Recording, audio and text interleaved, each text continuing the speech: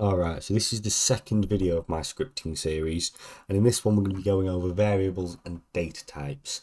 So what we're going to be doing is going first of all, what are variables, what they're used for, and how we write them. And then secondly, we're going to be going over data types, so what are they, how do we use them, what they're useful for, and when do you use them. So the first thing we're going to go over is variables. Now I've got three different variables here, all with different data types, but we're going to ignore the data types for now. First of all, we're going to have a look at variables. So what variables are basically just something that holds a piece of data. So we could look at them like cardboard boxes in a sense. You, you put stuff in and then you put a label on it so you know what it is once you've closed it up. So you can hold all kinds of data in variables. We're going to cover that later. But to make a variable, first of all, you've got to use the local keyword. So just type in local there.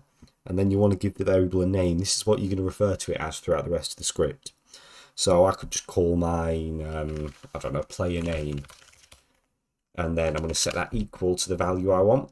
So for now, I'm not going to tell you what these quotes mean or anything, but I'm just going to give my name Squidingz here. So this is how you define a full variable.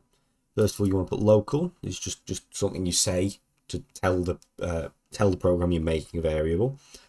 And then the name that you want your variable to be uh, referred to as, and then the data that you're setting to be stored inside this variable. Now, to show you that this actually does in fact work, I'm not sure we've covered this yet, but I'm just going to write a print statement to print it down here to the output, and I'm going to put in this variable name. So I'm just going to copy that and paste it in there, you will see that if I run this game here it is printed out squidingz which is what I put in this variable here. Nice.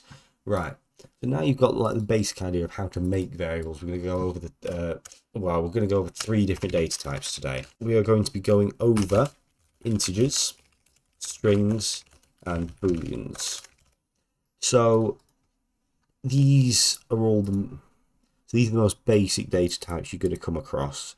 And integers are basically numbers, so you could have it as 2.1, 3.4, 5, 7, 9. And then strings are a set of characters, just like a string of characters, but you can also put numbers in them, etc. So to make strings, you use these double quotes here, or you can use single quotes like that. And then you just put whatever you like in there. So I could type that, or I could type, and then is squidingz and then booleans are true or false values. So whether something is on or off it's binary basically uh, which we use to store things like whether the player is in the spawn area or not in the spawn area for example. So first of all we're going to have a go with integers. So integers are just numbers. So I'm going to go ahead and say local number one equals 2.1 again making variables like we, uh, did a bit ago. And then I'm going to make one called number 2, and I'm going to set that to a whole number, so let's say 5. So this here, we have set two variables, each with different numbers and obviously different variable names. Uh, and what I'm going to do is then just show you how variables can interact. I'm going to make a different variable. I'm going to call this results. Right, and what we're going to do is we're going to add this number one variable to this number two variable. So to get this, we could do 2.1 plus 5, but in some cases you don't know what is stored inside these variables. If you're running it in an actual game with like complex code, you're not always going to know exactly what values are held in these uh, variables. So to calculate this result without putting in the values manually, we're going to make a variable again. I'm just going to call it result 2. And we're going to, again, add the exact same numbers, but there you go, the game's already doing it for me. I'm going to press tab for you there. What we're doing is adding the number one variable to the number two variable. Now this isn't adding the actual words number one and number two together. What this is doing is fetching the values that are held inside of these uh, variables and adding them together. So this is the exact same thing here. Both of these are doing exactly the same thing. I'll show you that by printing result and result 2 next to each other. So if I run this game, there you go. It's printing out 7.1 twice. So you can change these values obviously to whatever you like. Um, I could change this one to like 79 or something and it'll add up and show 84. Uh, 84 is the second one there obviously because I'm still printing both out. But yeah, you can do this with as many numbers as you like. I could have like hundreds of numbers all added up. It wouldn't be very efficient, like, but it worked. Right, so that is integers. Well, that's I don't know. Oh, right. Sorry, just to point out, I've called it integers, but it's not all integers. Integers are whole numbers. You can have floats as well. But in Roblox, they're all covered under the same sort of like uh, umbrella term sort of thing. You've not got integers and floats separate. Right, so now we're going into strings. So strings, like I said earlier, is just a collection of characters, numbers, symbols, whatever, all stored in either a single quote or a double quote. So I'm going to make a variable, I'm going to call it uh, my string, just for example. I'm going to set that equal to, this is my string, my name is Squidingz, and we are going to print this out, let's print it out. Print my string. I'm going to run that, and there you go. That is a string that's pretty much as simple as it gets, or as complicated as it gets even. Um, yeah, those are strings. You can add two strings together if you so wish, just like you can do with numbers, but a little bit different. Uh, so I'll do my second string, shall we say, is this is my second string. And then I'm going to add a comma to print something else out as well as that. I'm going to put in my second string variable again and I'm going to run that. This is my string. My name is Squidingz. This is my second string. So it's printing out both of them next to each other. So again, what this is doing here, what this print statement is doing, is pulling uh, this string here from this variable name. It's collecting the data and it's doing the same for this second string and it's printing it out to the screen. You can do this in any, any kind of way you like. You could put it on a text label on the screen, which is just a little box with text in that you actually see on your screen or you could send it in chat, you could do whatever. So strings are just used to store text data, basically. Right, now the final data type we're doing today is booleans. So booleans are true or false values, often on uh, ones and zero, basically like binary. So you could use this to store, let's say, uh, let's say if the player is alive, so is alive equals false, um, and then you can use this for what we're going to do later on which would be if conditional statements. So if the player is alive, then give them 100 points. Like if they've survived a certain amount of time in in the game. Um, there's not really much you can do with booleans in the sense of manipulating them like you can with strings and numbers.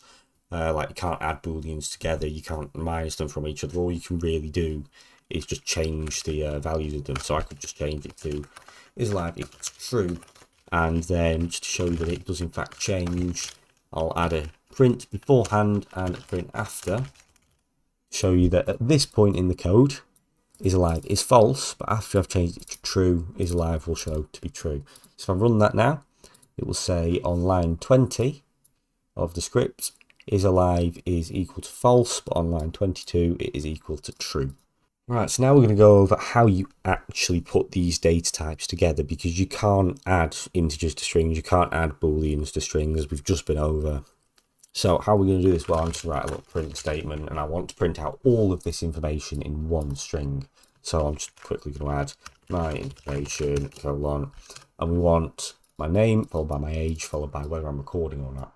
So how we're going to do this is we are going to first of all add two dots, which is how you add things, add strings to each other in print statements. Uh, and we first of all going to add my name because that's already a string. You don't need to do anything to that.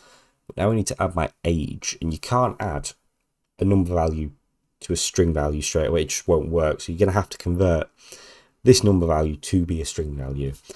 How we're going to do that is a built-in function called toString and then a pair of brackets. Now what this does is it just takes data that you give it and converts it into a string data type so it can be used with other strings.